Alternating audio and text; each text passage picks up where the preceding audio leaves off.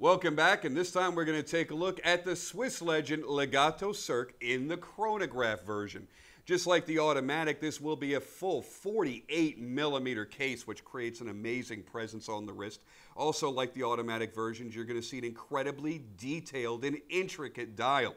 The movement inside this particular watch is going to be the Swiss ETA G10 quartz chronograph movement with the calendar at the 4 o'clock position and you're going to get Sapphitech crystals on these, and that's going to give you a 10 year warranty against any kind of scratching that may ever happen to your watches.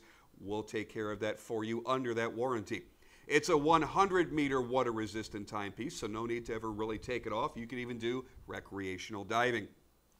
The strap on here will be the soft and pliable silicone based rubber strap where the ridges in the design meet up to the ridges in the lugs of the steel case as well as match up to the sidewall construction in each of the cases.